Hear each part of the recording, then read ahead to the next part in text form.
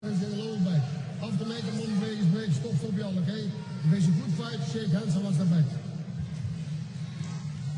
Right away, we see the height advantage that Bonjasky has over Spong. Both men have extremely strong corners. There's Ivan Hippolyte giving last-minute instructions. Uh, one of the great trainers in Holland, and of course, Tyrone Spong has Rob Kaman and Rashad Evans, the former UFC light heavyweight champion, in his corner. And Spong presses forward. We pretty much know that Spong is going to want to throw some punches, but he landed a good left low kick there. Yeah, that's what Bu- Bonjasky said. He said he's lost his uh, his speed in kicking now. He's mostly just a puncher now he's bigger man. He said he's going to kick the puncher. And we're seeing Bonjasky throw a lot of kicks right off the bat. And a left kick landed upside the right arm of Spong. Good, right? That's a beautiful left front kick by Spong. Right up the middle. It landed perfectly. Nice counter. The leg one leg. Fast up. It's a perfect sweep move. Spong. Oh, nice work. Beautiful punch combination to the body and then to the head by Tyrone Spong. Spong keeping Bonjasky trapped in the corner momentarily with two minutes left here in round number one.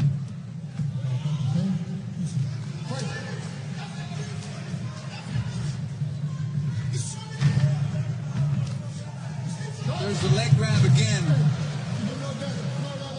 You gonna, know, Spong is, Leg one action. hopefully he doesn't get a point deduction for doing that. Hopefully, because this is not an MMA fight. Oh, you can't hold the foot though. Yeah. Hold it for a second. Yeah. But then you have to let go or do something. Yeah, you get a counter immediately. Yeah. Nice kick for kick. Schwab doing some nice inside leg kicks, round kicks there. Just almost took the legs out for Bonjasky. Hold, hold. Spong used that kick quite well. And the hands. It's a one, two, three with that liver shot to end things for Spong. Spong has been a sharp puncher, one minute left. Tap on the knee. Bonjasky hasn't been able to find his distance or his rhythm yet here in round number one. Bonjasky said he was going to feel him out in round number one, and number two, he was going to go for it. I don't know if he's felt him out yet, because it looks like Spong's coming on. Well, he's felt his punches, that's for sure. Spong is just a sharper fighter right now. Way the playing the way waiting game.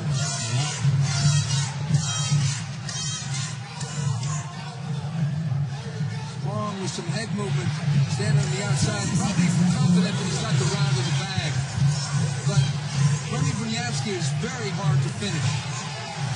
Got one of the greatest defenses in the game.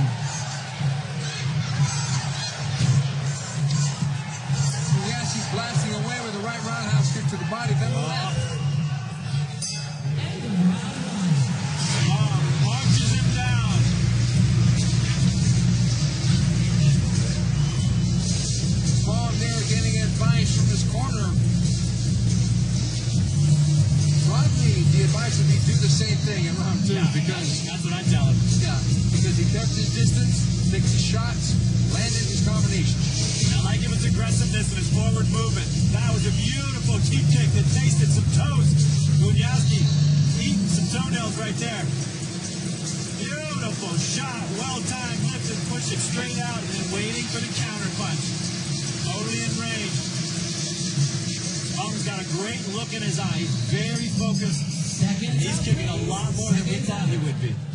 Spong unanimously took round number one with our five judges. Bonjasky knows he's got to get things started here in round number two. Round two. Remy Bonjasky in the red gloves, Tyrone Spong in the blue gloves. Spong leading one round heading here into number two. Uh, told me he'd go for it in this round kick, kick, kick, and then try to knock him out.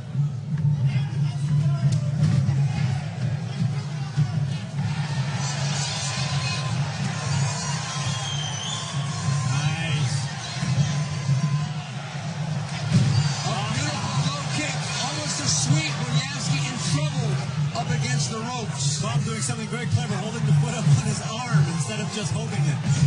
Two of our greatest heavyweights here in glory. We've got more great heavyweights coming at you. April 6th, Gokhan Saki comes in to face Daniel Ghita, and that's the number two and number three heavyweights in glory in Istanbul, April 6th. Don't miss it. GloryWorldSeries.com. The pay-per-view will be available. Bonjasky peppering with a jab.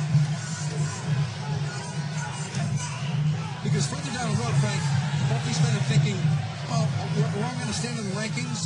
Where am I going to stand in that heavyweight Grand Slam tournament? Oh, my Lord! Massive right hand sends Bonjasky sleeping through the bottom rope. He's not moving. Tyrone Spong has knocked out Remy Bonjasky here in round number two.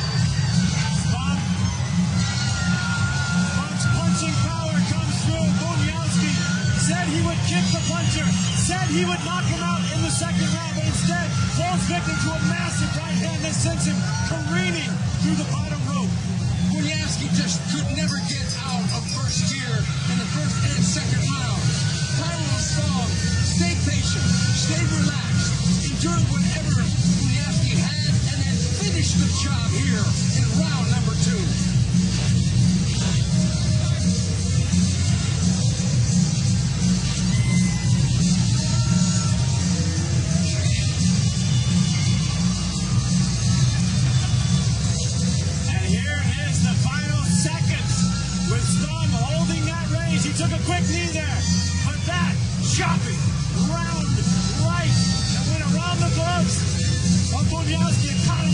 chin and crumbled him straight to the canvas. Here it is again.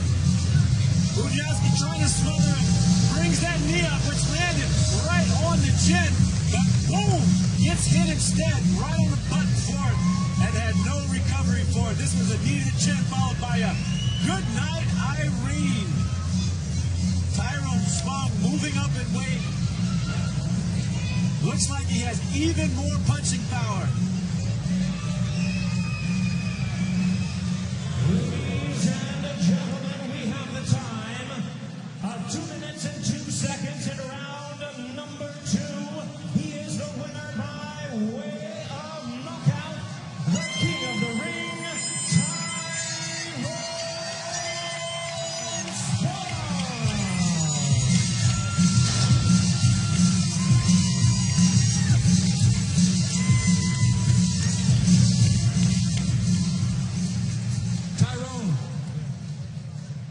You came right in there, you were very relaxed.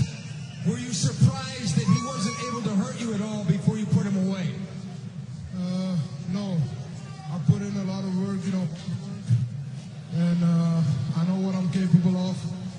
Uh, so I wasn't surprised. Uh, I just took my time. I had three rounds and I took it easy. Yeah. This was a big win for you because you took out another three-time World Grand Prix champion, having beaten Peter Aerts in your last kickboxing match. Now do you have eyes on a bigger prize and maybe Semmy Schilt? That's right. You know, uh, I like challenges and uh, I'm just looking forward to fight the best. So give me Sammy, give me whoever. Ladies and gentlemen, one more time, he